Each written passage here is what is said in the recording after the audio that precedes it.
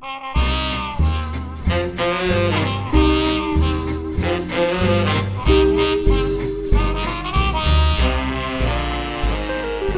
this is Chuck King. Today we're in beautiful Wallace, Idaho at the Oasis Bordello Museum. On today's episode of The King's Guide, we're introducing you to Dr. Heather Branstetter. I'm Heather Branstetter and I wrote the book Selling Sex in the Silver Valley, a business doing pleasure. It's about the history of sex work in the Silver Valley and especially Wallace, Idaho from 1884 till 1991.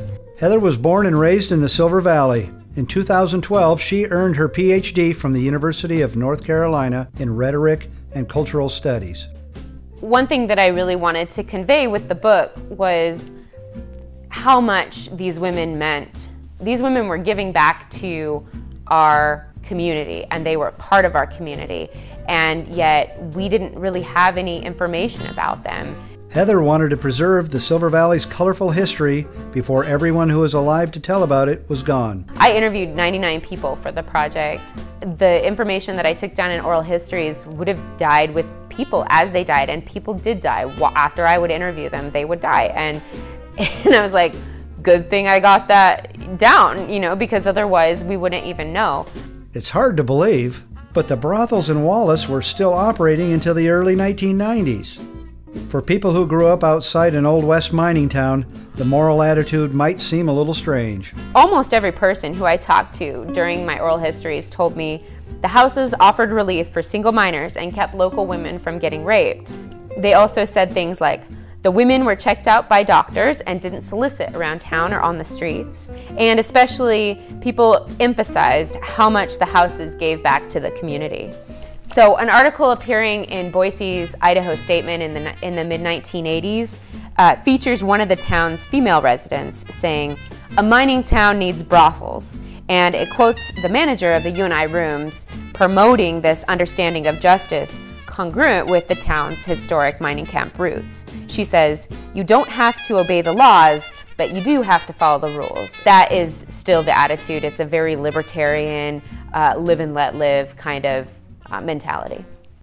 One of the most famous madams, Ginger Murphy, ran the Oasis from 1963 to 1988. So this was Ginger's room, and from here she could spy on the girls using this, uh, oh, over here.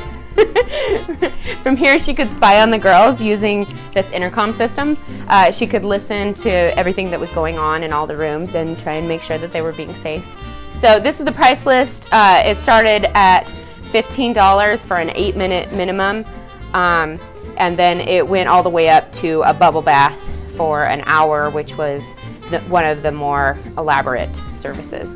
And some wigs. Apparently Ginger liked her Atari. Um, Ginger was a, a, bit of a recluse as she got older in age and just kind of hung out here in her uh, very expensive silk pajamas and played Atari when, in her free time. Not everyone who grew up in Wallace felt the live and let live motto was healthy, and Heather documents their stories in her book as well. So I had a lot of difficulty finding anyone who would say anything negative about the sex work industry in Wallace. Uh, Holly Shoemaker, I thought was really brave to tell her story. Um, she talked about her experience uh, in high school during the early 1960s. And she said, Sex work affected my marriage and degraded my ex-husband who taught me things based on what he'd been taught up there. It would be a mistake to glorify the madams in any way, Shoemaker cautioned me, because their profession was, quote, based on lies. Prostitution is a lie, and it erodes the soul.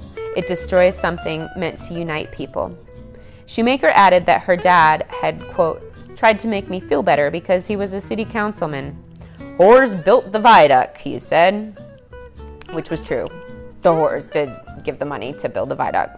Even though most women in town believed the sex industry was in their interest to promote, some women, like Shoemaker, felt a tension under the surface because it was, quote, like a secret club in this town between the men and the women in the houses. But the other women in Wallace weren't allowed into this boys' club. Some men from the region presumed most women in town were sex workers and were blatantly disrespectful when a Wallace girl revealed where she was from. And I experienced this actually when I was going to college. Um, I'd walk into a party and people be like, oh, Wallace girl, hey. You know, it would be kind of like this big joke. Like, obviously, um, you know, I was a working girl and or easy because um, I was from Wallace. And you know, this was years after they'd already stopped, but um, but there was still the Wallace reputation. So Shoemaker related this story about high school cheerleaders participating in a Spokane parade. And I also heard this story firsthand from one of the cheerleaders who was marching in the parade. Wallace girls marched in their black sweaters with the large W for Wallace across their chests. Coins were tossed at them, and jeers of W for whore rang out. At this point, I had come to believe I would rather be a madam or a whore than one of the, quote, protected women of Wallace.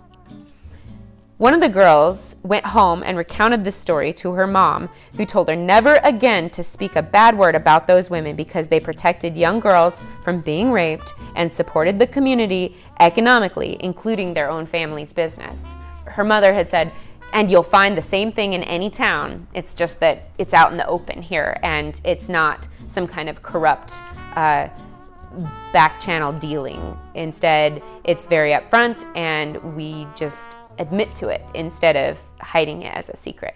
If you'd like to learn more about the fascinating history of the brothels of the Silver Valley, you can find Heather Branstetter's book, Selling Sex in the Silver Valley, online at abusinessdoingpleasure.com.